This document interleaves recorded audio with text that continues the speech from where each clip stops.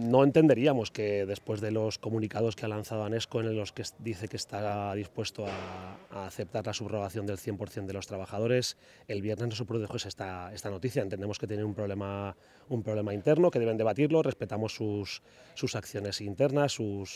forma de funcionar